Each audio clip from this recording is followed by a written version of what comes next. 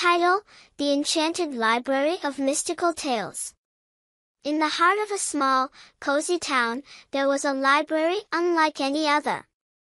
It was called the Enchanted Library of Mystical Tales. The building itself was a grand old structure, with tall, arched windows and ivy crawling up its stone walls. Every child in town loved to visit, for the library held a secret that made it the most magical place on earth. One sunny afternoon, a curious girl named Emma decided to explore the library. Emma had bright, twinkling eyes and a heart full of wonder. She had heard whispers about the library's enchantments and was eager to discover its mysteries. As Emma entered the library, she was greeted by the kind librarian, Mrs. Willow. Mrs. Willow was a gentle woman with silver hair and a warm smile. Welcome, Emma, she said. Are you ready for an adventure? Emma nodded excitedly. Mrs. Willow led her to a special section of the library, hidden behind a velvet curtain. This is the section of mystical tales, Mrs. Willow explained. Every book here has a life of its own. Choose one, and it will take you on a journey you'll never forget. Emma's eyes widened with excitement. She scanned the shelves and picked a book titled The Enchanted Forest.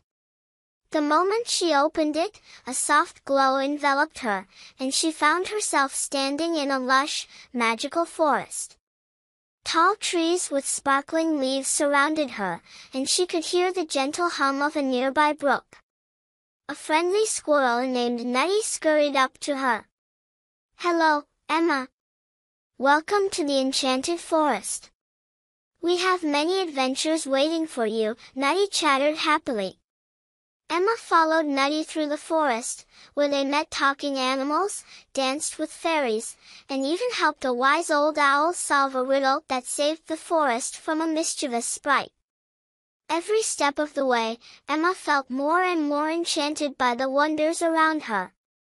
After what felt like hours of fun and excitement, Nutty led Emma back to where she had arrived.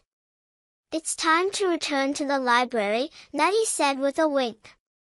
But remember, you can always come back. With a swirl of light, Emma found herself back in the library, holding the book in her hands. Mrs. Willow was waiting for her with a knowing smile. How was your adventure? she asked.